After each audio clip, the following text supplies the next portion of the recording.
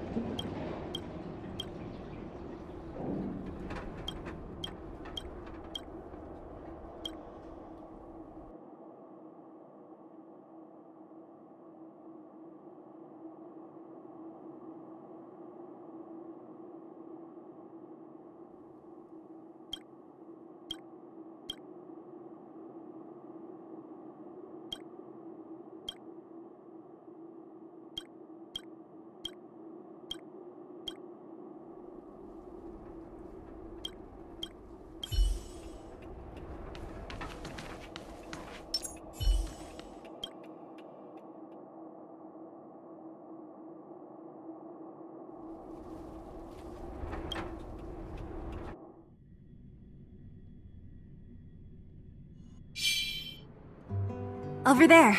See that? That used to be the worst street in Rivet Town. And it's also where I grew up. My friends and I used to wander those streets, thinking about where to find our next meal. That is, until Chief Oleg got me out and took me to the orphanage. There, I learned to read and write from Natasha. At the age of 10, I started to patrol the mines with Oleg, occasionally getting into fights with the local thugs. Sounds nice. Nice? You being sarcastic with me? Oh, no, sorry. Life in the underworld is difficult. I shouldn't be speaking about it so lightly. Ugh, you're always so serious. It really gets on people's nerves sometimes, you know? Right. Uh, what I meant was. Kind of envy you, Seele. For as long as I can remember, my days have been an endless cycle of studying, etiquette lessons, and training. Every day, all I hear is, Remember who you are, Bronya. This is against the Architect's admonishments, Bronya. Ladies shouldn't use such foul language, Bronya. Some may envy this kind of life, but I have felt trapped when every choice and every goal has already been made for you. you probably can't imagine how that feels. No, I can't. But more importantly, what kind of foul language were you using?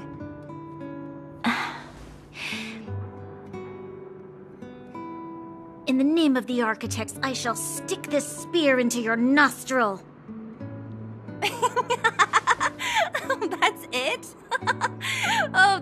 Nothing. Looks like I'll have to teach you some underworld slang before you go back. no. No, that won't be necessary. It'll be better than poking people's nostrils, at least. I never thought that I'd be here having a heart to heart with the future Guardian. As a kid, I didn't meet many people who lived in the overworld. I only heard stories from the grown ups and figured you were all just a bunch of cold snobs. I've heard from some Silvermane veterans that before the orders were made to seal off the underworld from the overworld, there was no difference between the two places. Everybody ate the same food, chatted about the same topics, celebrated the same festivals.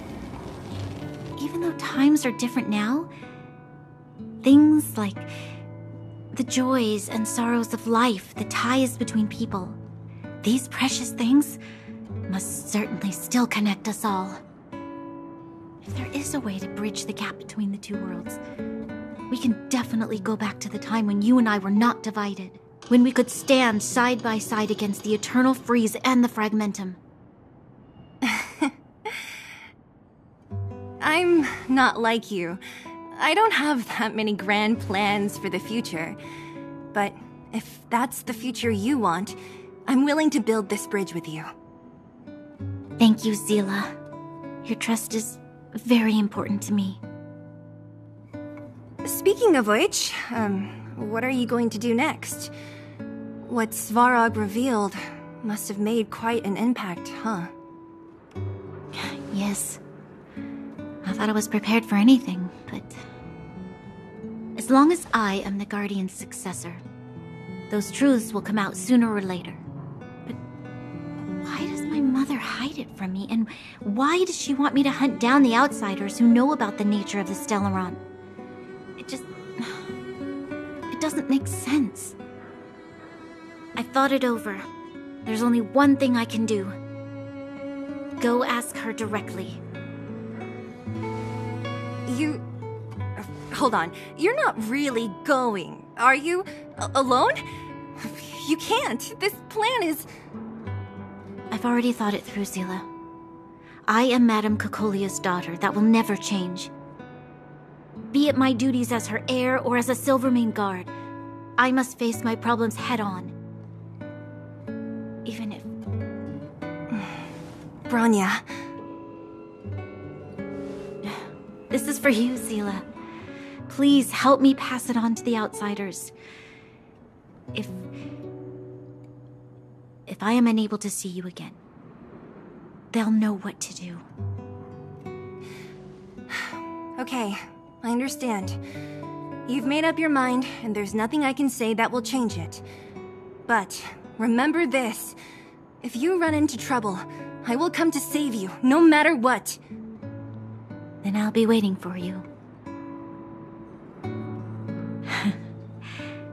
so, did you come to this spot when you were a child? Of course. I just didn't appreciate how nice it was at the time. Very nice.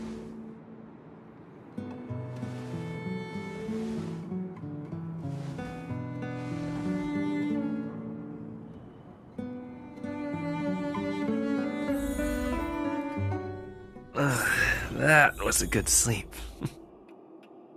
I should go meet up with March and Dan Heng.